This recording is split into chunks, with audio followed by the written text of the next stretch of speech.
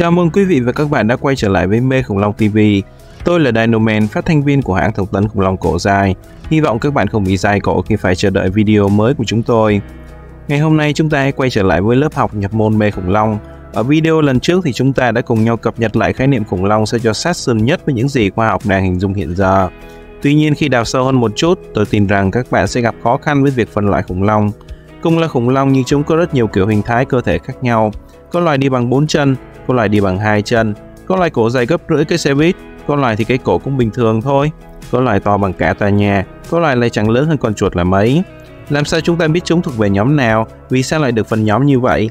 Đối với một người mới bắt đầu tìm hiểu về khủng long một cách nghiêm túc thì đây chắc chắn sẽ là một câu đố học búa. Nếu các bạn đang gặp vấn đề mà tôi vừa đề cập thì video hôm nay chính là dành cho các bạn. Mời các bạn hãy cùng Mê Khủng Long TV tìm hiểu các phân loại khủng long cơ bản nhất nhé. Nào, mọi người đã sẵn sàng chưa? Chúng ta hãy bắt đầu thôi.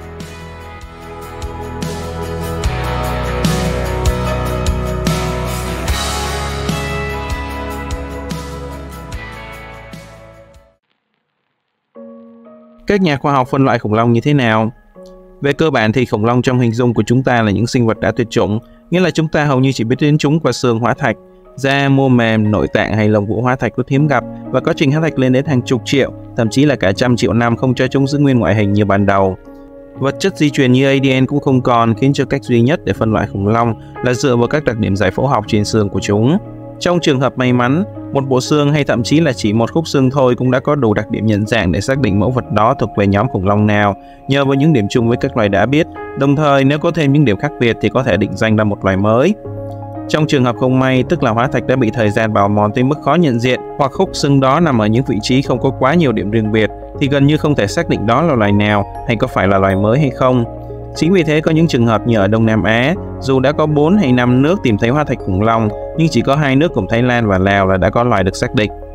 Trước khi bắt đầu vào việc phân loại khủng long, chúng ta cũng sẽ tìm hiểu đôi chút về phân loại học cũng như vị trí của khủng long trong cây tiến hóa theo định vị của khoa học hiện nay. Nếu các bạn chưa quen kiến thức hoặc đang học môn sinh ở trường phổ thông, hẳn các bạn sẽ quen với việc phân chia giới động vật ra làm 6 lớp cơ bản, gồm lớp không xương sống, lớp cá, lớp lưỡng cư, lớp bò sát, lớp chim và lớp động vật có vú. Đây là cách phân chia đã có nguồn gốc từ thế kỷ 18, cha đẻ của nó là Caglinius và nó được gọi là phân loại học Linnean, Linnean Taxonomy. Lớp là một trong các cấp bậc cơ bản của hệ thống này, gồm có 8 cấp là vực, giới, ngành, lớp, bộ, họ, chi và loài. Theo đó, các loài khủng long thuộc về lớp bò sát. Hệ thống phân loại này tuy có tính khái quát cao, đơn giản và dễ hiểu nhưng thường chỉ hiệu quả nhất khi áp vào các sinh vật còn sống. Với các sinh vật đã tuyệt chủng cũng như mối quan hệ tiến hóa giữa các sinh vật đã tuyệt chủng và các sinh vật còn sống, hệ thống của các lineage không thể giải thích được. Chẳng hạn như trường hợp mối quan hệ giữa chim và khủng long, chim được biết đến là hậu duệ của khủng long phi điểu, đồng thời được coi là khủng long thực thụ dưới góc nhìn của khoa học ngày nay. Nhưng trong hệ thống của các lineage thì chúng lại được đặt ngang hàng với bò sát.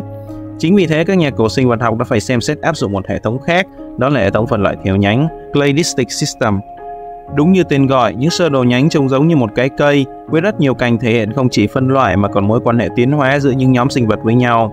Chẳng hạn như chúng ta thấy khủng long là một nhánh nhỏ nằm trong nhánh lớn Reptilia hoặc Sauropsida. Nhược điểm lớn nhất của hệ thống phân loại theo nhánh là chúng quá đỗi phức tạp, chỉ một nhóm động vật thôi cũng có rất nhiều nhánh khác nhau. Chính vì thế cho đến tận ngày nay thì người ta vẫn phải dùng kết hợp giữa hệ thống phân loại theo nhánh và hệ thống cấp bậc của các lineage để bổ trợ cho nhau. Và như vậy thì khủng long là những sinh vật thuộc giới động vật ngành động vật có dây sống và lớp bò sát. Khái niệm khủng long dinosaur hay những động vật thuộc nhóm Dinosauria ra đời vào năm 1842 sau khi nhà cổ sinh vật học Richard Owen định ra thuật ngữ này. Không lâu sau đó thì một nhà cổ sinh vật học người Anh khác đã có một phát kiến trường tồn với thời gian, đó là Harry Seeley vào năm 1887 và 1888.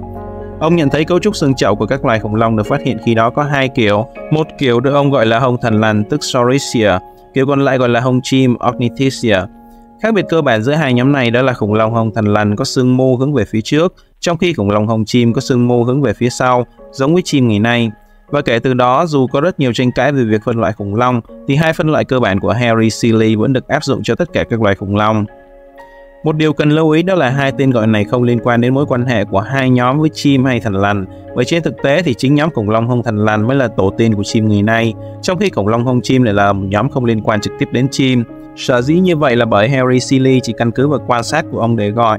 Ông không hề biết rằng cấu trúc này đã tiến hóa độc lập ở cả hai nhánh của khủng long, để rồi sau đó nó tái xuất hiện ở các loài chim, vốn là con cháu của khủng long hồng thần lằn. Như vậy, chúng ta đã có hai nhóm lớn là khủng long hồng chim và khủng long hồng thần lằn. Tiếp theo hãy xem khủng long hồng chim có thể được phân chia như thế nào. Nhắc đến khủng long hồng chim, bạn hãy nghĩ đến những con khủng long mỏ Việt như Hadrosaurus, Parasaurolophus, khủng long mặt sừng như Triceratops, Chasmosaurus, khủng long thân giáp như Stegosaurus, Ankylosaurus. Có thể có nhiều cách phân loại khác nhau, nhưng để không quá phức tạp thì chúng ta có thể chia chúng thành ba nhóm lớn, đó là Thyreophora, Ornithopoda và Machinocephalia. Nhóm thứ nhất Thyreophora, tạm dịch là khủng long mang giáp, có thể là giáp mọc thân như Ankylosaurus hay vảy sừng mọc dựng đứng trên lưng và đuôi như Stegosaurus. Hai chi này cũng là hai chi đại diện của hai phân nhóm lớn nhất trong khủng long mang giáp, gồm Ankylosauria và Stegosauria. Nhóm thứ hai Ornithopoda, tạm dịch là khủng long chân chim. Dựa trên cấu trúc xương chân có ba ngón của chúng, dù như đã nói thì chúng không liên quan trực tiếp đến chim. Nổi bật nhất trong nhóm này có lẽ là các nhóm khủng long ngọ vịt, khủng long răng kỳ đà với đại diện là Iguanodon hay họ khủng long đặc hữu của châu Âu là Raptodon tidy. Nhóm thứ ba, Machinocephalia, tạm dịch là khủng long đầu diềm, với đặc trưng chung là cuối hộp sọ có dải hoặc diềm làm bằng xương.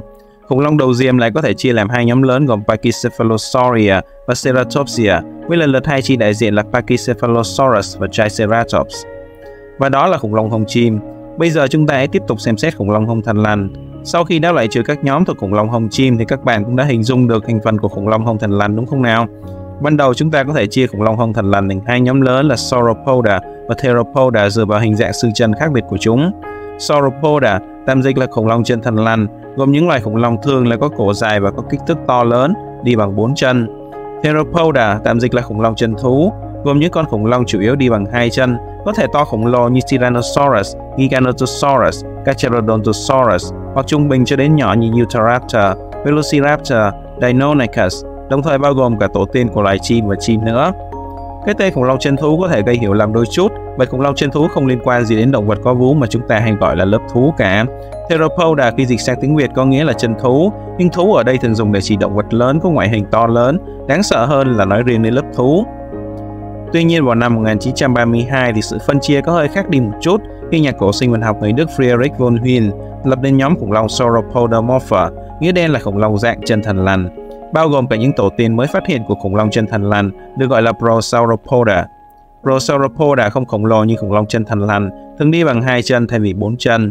Do đó, khủng long không thần lằn bây giờ gồm hai nhóm lớn là khủng long chân thú và khủng long dạng chân thần lằn. Đó chính là sự phân chia cơ bản nhất của tất cả các loài khủng long. Tất nhiên là ở đâu đó vẫn có tồn tại những sự hiện diện ngoại lệ, và đó là những loài khủng long hay thậm chí một nhóm khủng long mà người ta chưa biết nên xếp vào đâu cho hợp lý. Trong trường hợp của khủng long hông chim, chúng ta có họ khủng long Herodontosauridae, một họ khủng long hông chim mà các nhà cổ sinh học cho rằng chính là thành viên nguyên thủy nhất của nhóm này và hiện vẫn chưa thể xếp họ này vào một trong ba phân nhóm khủng long hông chim mà chúng tôi đã đề cập. Ở một mức độ khác thì những họ khủng long như Tessilosauridae hay Hypsilophodontidae dù cùng nằm trong nhóm khủng long hung chim mới Neornithischia như hai nhóm khủng long chân chim và khủng long đầu diềm, nhưng các nhà cổ sinh vật học vẫn chưa biết xếp chúng vào nhóm nào. Hơn thế nữa, những hóa thạch mới và loài mới liên tục xuất hiện, một số mang những đặc điểm hình thái chưa từng thấy ở các loài trước, thách thức những cánh phân loại cũ của chúng ta. Mặt khác thì các công nghệ mới như chụp cắt lớp và X-quang siêu mạnh cũng cho phép chúng ta khám phá thêm nhiều điểm mới từ các hóa thạch đã cũ, cũng góp phần tăng cường hiểu biết của nhân loại về khủng long một cách thức phân loại chúng sẽ cho hợp lý hơn. Ngoài ra thì có một cách phân loại khác, thiên về sự tuyệt chủng và sống sót. Người ta thường gọi những loài khủng long không phải chim đã tuyệt chủng vào thời điểm kết thúc kỷ phấn trắng khoảng 66 triệu năm trước là khủng long phi điểu. Hiện nay thì cách định nghĩa chim cũng khá nhiều, tuy nhiên theo Wikipedia, họ cho rằng tất cả các loài nằm trong nhóm Avialae, bắt đầu từ chim thủy tổ Archaeopteryx cùng các họ hàng của nó vào thế Jura muộn trở đi sẽ là chim. Avis, tức các loài chim hiện đại, cũng là một nhánh của Avialae. Do đó, khủng long phi điều sẽ là tất cả những loài trong nhánh Dinosauria trừ nhánh Avialae ra. Đây mới chỉ là phần loại sơ sơ mà thôi. Nếu đi sâu tìm hiểu thì bạn sẽ thấy tương đối rối rắm với những thuật ngữ, danh pháp, các cấp bậc cũ xen lẫn với hệ thống nhánh mới như họ, siêu họ và phần họ. Nhưng chịu khó tìm hiểu nhiều và xem nhiều thì dần dần bạn cũng sẽ nắm được vài phần. Vừa rồi là toàn bộ nội dung của video ngày hôm nay. Bé Khủng Long TV xin chân thành cảm ơn sự theo dõi và ủng hộ của mọi người. Nếu thấy video của chúng tôi hay thì hãy nhấn đăng ký và theo dõi để cập nhật video mới nhé. Còn bây giờ thì xin chào và hẹn gặp lại các bạn trong những video tiếp theo.